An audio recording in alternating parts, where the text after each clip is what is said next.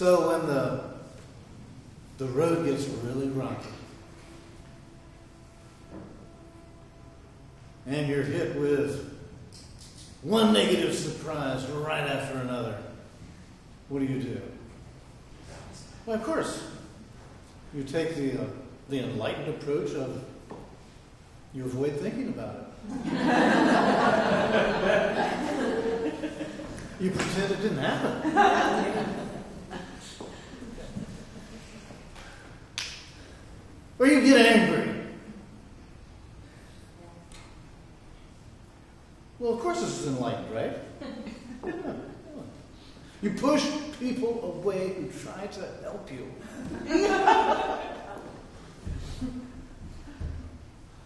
or you blame yourself. And then you take it to the very next level, and that's the bottom. You wallow in the pain. okay, I got your attention. okay. By the way, are any of these familiar? they are, aren't they? You know, it, it's an interesting thing that even for the relatively self aware and emotionally adept, we still have surprises happen to us that get our attention. And while we may take the approaches that I just mentioned, eventually that uh, that self-aware aspect and you've learned to work with your emotions aspect comes into play, you see. Because eventually, somewhere along the way, you remember, wow,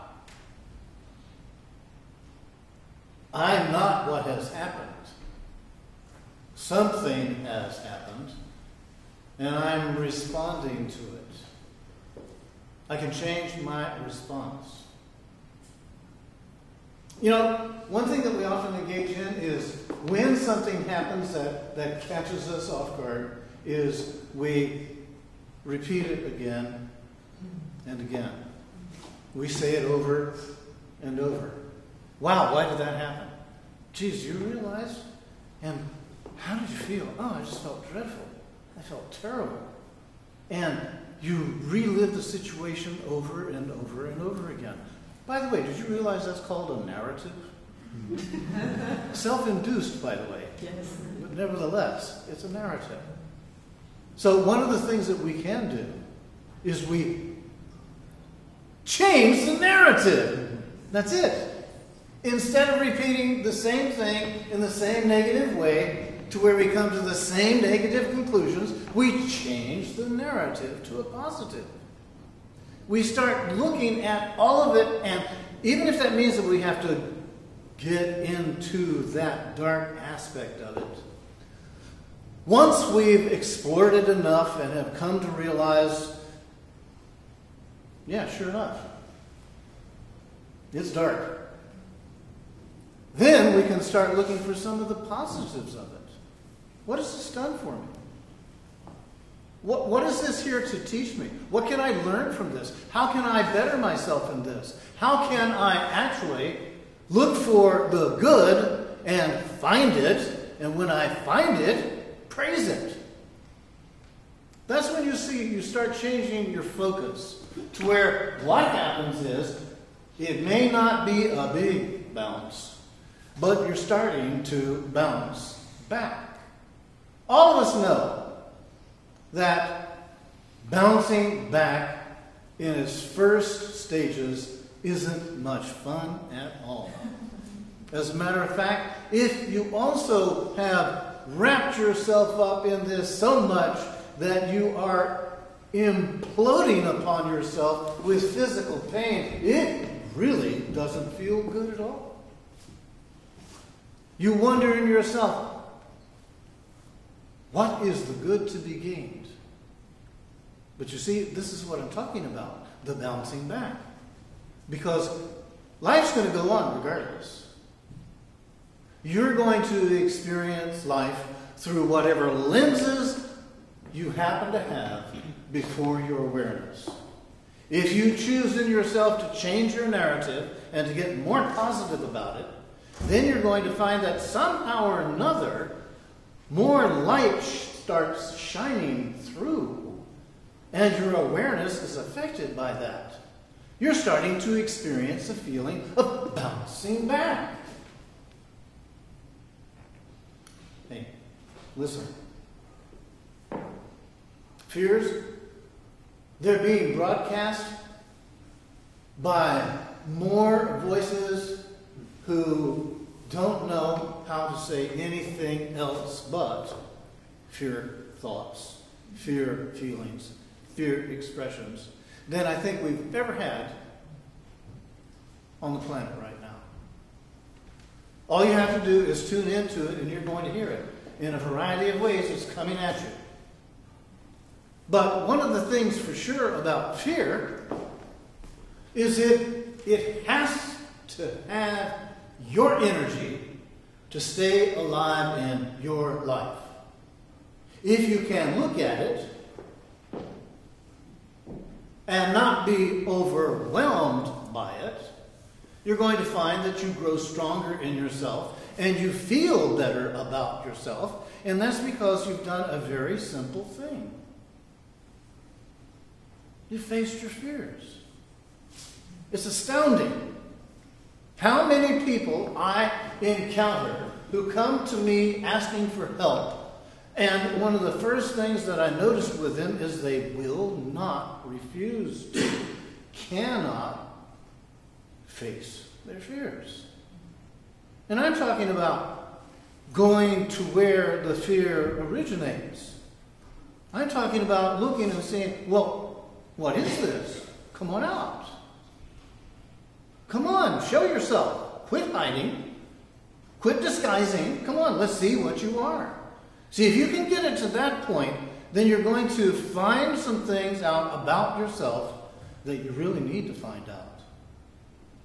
You stop giving your power away to fear. You start reclaiming your power that truly is yours to apply in any way you so want to. And in so doing, you're going to find that is bouncing out of the grasp of fear and finding yourself in the presence of the one who's there to do the most good for you in your life, and that happens to be you. You're the one. I know when you're when you're confused, you're agitated, you're in pain, you're distracted, it seems like you're the last one you want to see. You do not expect yourself to be the one of power. But in reality, you are. You see, that's a, a lot of the problem that's going on in the world right now. People are believing that they are less than instead of letting go of that belief and coming to a place of seeing, I'm more than that. Even if right now the only thing I'm doing is saying it, I know that I'm more than that. I can come out of this, I can bounce out of this and come to a place of self discovery that reveals something about me that I would never, ever have faced if it were not for the challenge that came into my life. Challenge? Do you want challenge? Most people say, uh-uh, give me the easy life. But you see, challenge is there to help you make some discoveries about who you are. And how do you treat yourself? Are you nice to yourself? Are you loving with yourself? Are you compassionate with yourself? Do you speak kindly to yourself? Do you treat yourself as a true friend? Or are you kicking yourself in the ass because you're not perfect? Hmm.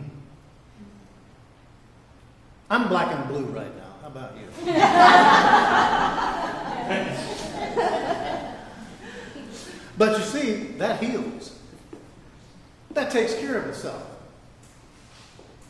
In the process, you learn that being compassionate towards yourself opens you up to another dimensional reality, you see.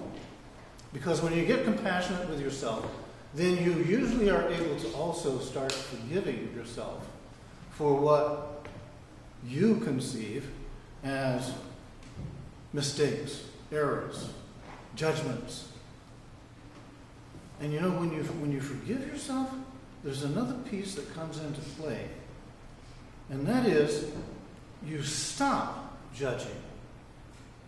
You stop using that as a frame of reference toward yourself as well as others. And that, that seems to be more of a, a gliding effort than a real balance. But what happens is you move out of a relationship you had with life, where you were always judging, criticizing, finding fault, and never ever allowing for the trueness of life to register in you. So that when you do get to that place of being kinder to yourself, being compassionate with yourself, treating yourself with warmth and without judgment, that you then begin to find your life changes. You don't have the same energy up and running that you did have. Even if you tried to keep it, you know, undercover to where no one else saw just how you were feeling, you find that you come to a place of a much greater sense of ease with you. And when you do that, it's amazing how much easier it is to be with everybody else. And that's because you've made the shift in yourself.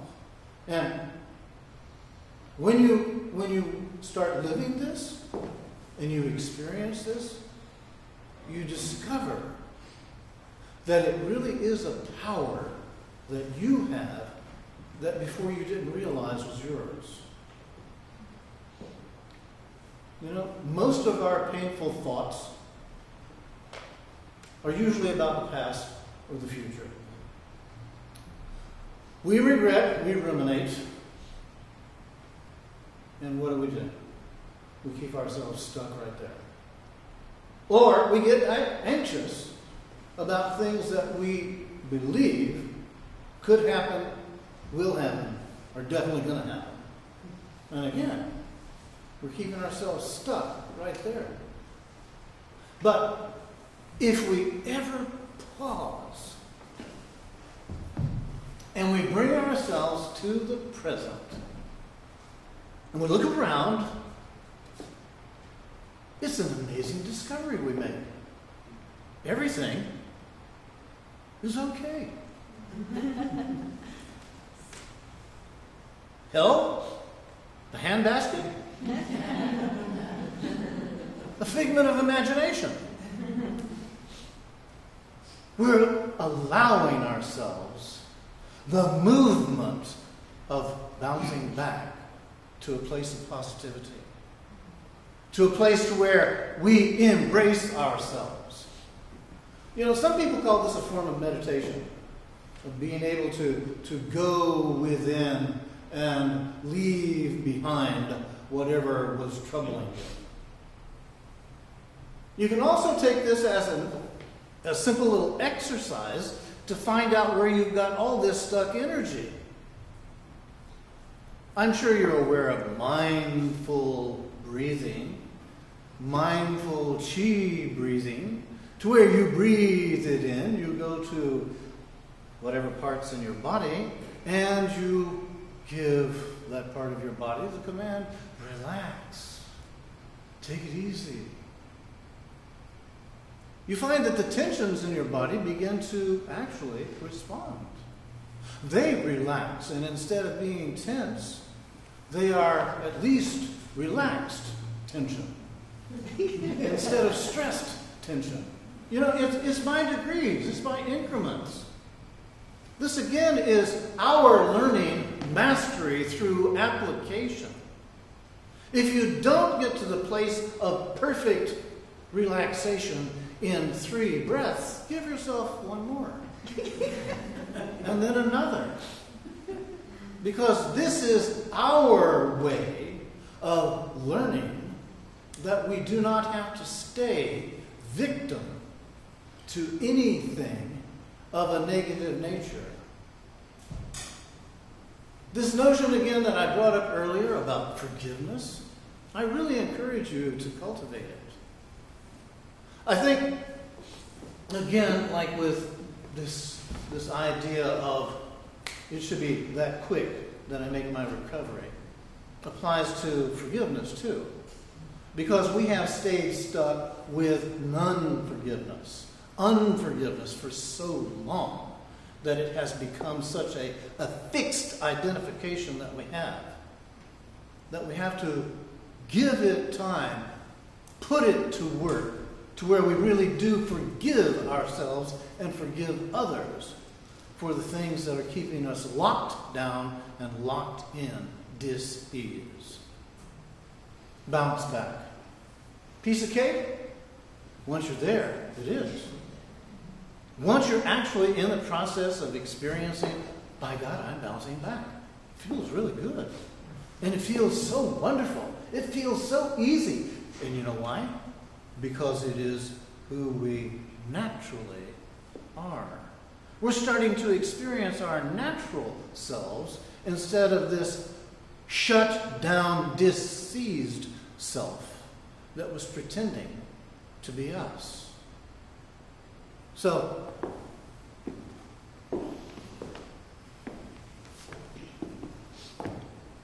when things get rocky, know that you're going to live through them. I mean, there's such a there's such the, the odds are so in your favor that you're going to live through them. And if a chance you've run out of good odds and it kills you, no big deal. It really isn't. You'll, you'll wake up and realize, damn, I don't have any troubles now. That was a pretty good solution I just sought out for myself. I know, but most of you don't realize death in that way. You think death is some final experience and that's it. It is one that we experience lifetime after lifetime after lifetime. But for this lifetime, you see, I'm encouraging you to realize you have this golden opportunity to be true to yourself and to give yourself what you need to bounce back so that you can go on experiencing life from a much clearer, more rarefied atmosphere. And in so doing, find it was worth the effort. It was worth the challenge. It was worth everything because it gave you just what you needed to avail yourself to the help that was there ready to give it to you.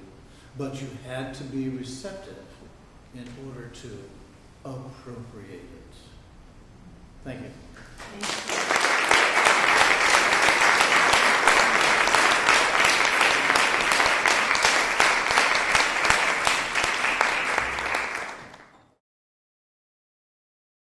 For more information about the Metaphysical Church of Enlightenment or the Rodan Foundation, please go to our website at www.rodan.org.